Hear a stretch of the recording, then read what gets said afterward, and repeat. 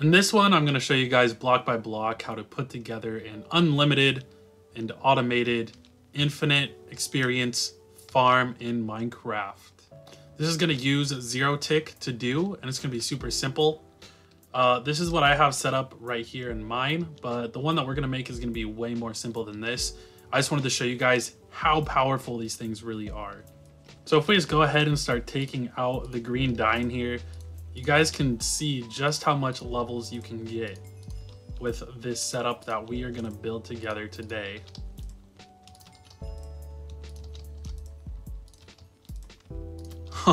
oh, oh my gosh.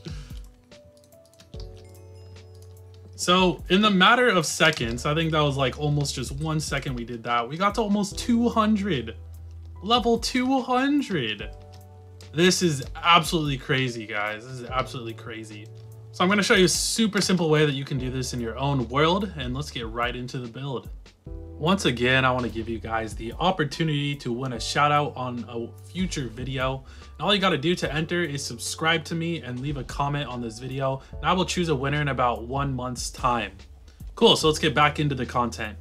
So the first thing you want to do is decide where you want all of the green dye to output, because that's essentially what we're doing.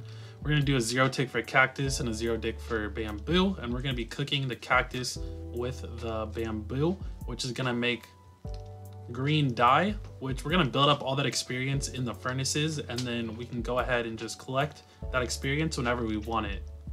So go ahead and put the chest down, put a line of hoppers of uh, four hoppers going into the chest, put the furnaces on top of that line of hoppers, go ahead and put some uh, solid blocks right in front of the furnaces and just put um, some levers on the front there. You don't need to switch those. We can leave those unswitched for now. Now you need four hoppers going into the back of the furnaces and four hoppers going into the top of the furnaces. We're to be putting the bamboo in this way. So make a line of hoppers that go across the top of the hoppers going into the back. And then make a line of hoppers that go across the top of the hoppers going into the top as well. So now we just need to get the um, the cactus into this hopper here and we need to get the bamboo into this hopper over here. I'm gonna build this one a couple more out um, and then we can just start building the zero tick machine for the cactus here and the zero tick machine for the bamboo on this side. So for the side of the cactus, you want to build a building block uh, two blocks up or the third block up. Go ahead and put redstone torches on either side of it and we want to put a lever on the back and just switch that lever for now. And then you want to put sand on top of those um, redstone torches right there. You also want to put blocks on either side of this lever like that. And we also want to build up a block so it's like kind of like a bullhorn shape just like that. Now that it looks like this, we want to put sticky pistons attached to the blocks on the side like so. And then we want to put dots of redstone on the lower part like that. So now this thing should be working. So you see it's getting powered, but then we need to put some pistons down below to ensure that these pistons get zero ticked. So go ahead and put a piston below that block like that, a piston below this block like that, and then also put some on top just in case we need those ones.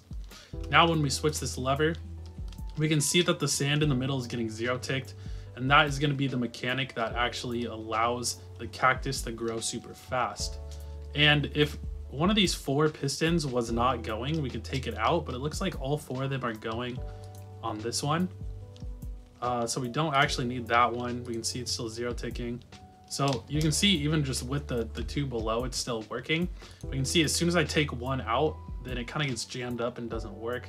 So we just need to make sure that that one stays there so that it can still just do its thing. Now we need something up top to actually push the cactus forward when it gets uh, when it's grown. So go ahead and just build up an observer facing down into the redstone like that. Go ahead and put a solid block on top of that. So again, I'm using that iron block and then you can put another piston there. Now when we turn this thing on, that piston should be going as well.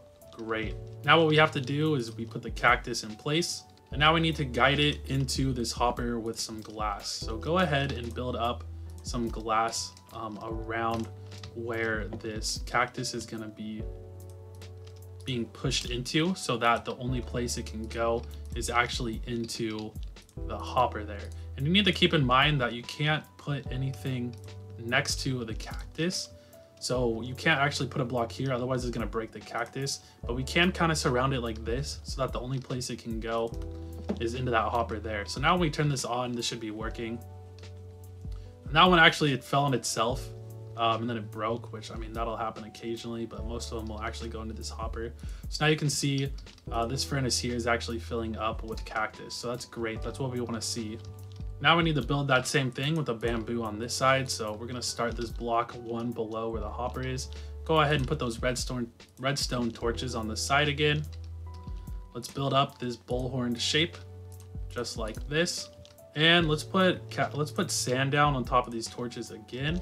Now is when we need to put the sticky pistons facing into these blocks on the ends, uh, on the side of these bullhorn uh, shaped blocks right here, just so it looks like that. And let's go ahead and start with just the two down below and see if that will work. And then all we need to see if this is gonna work is some redstone dots right there. So we can get away with just using those two. But if this isn't working and you use those two, go ahead and try putting some up top and see which ones are actually getting it to go. We're also gonna need the observer and the solid block and then the piston up above to make sure that we're pushing all of the bamboo into that hopper right there. Go ahead and put a lever on. You can switch that off for now. Put the bamboo on there, but you got to make sure that you put two down and it looks like that before you start this thing. Otherwise, you could run into some problems. Let's go ahead and just surround this thing in glass like we did the cactus. But this one, you can actually put glass on the side of it without any issues. So that's what we are to do. So we can just surround it in there like this.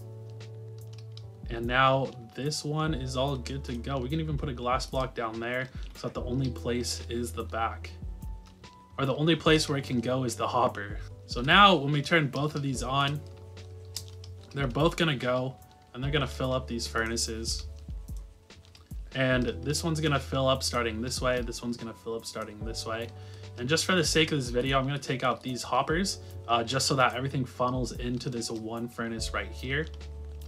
And now everything's good to go. Um, so now all of the green dye, when it actually gets cooked, is to end up in here. So you can see that's our first green dye. And then it's to build up all the experience from this cooking. And then all you're to have to do whenever you want to get access to that experience is just flip the lever of the furnace that you actually want to collect the green dye from. So that's why I put it on all these so that you can use these for different mending tools if you want. You know, you could use this one for your pickaxe, this one for your axe. Um, so you can just do use different furnaces for different things.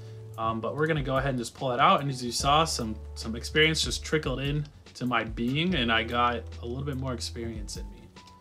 So cool, this is a really simple way to get a lot of experience super fast. I hope you enjoyed this video. If you did, definitely leave a like and share it with a friend who you want to show this off to. You know, your friend might really love seeing this video.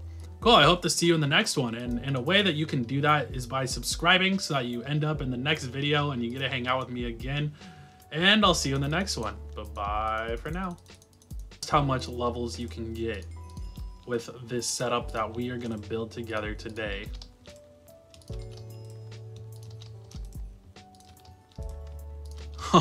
Oh, oh my gosh. So, in the matter of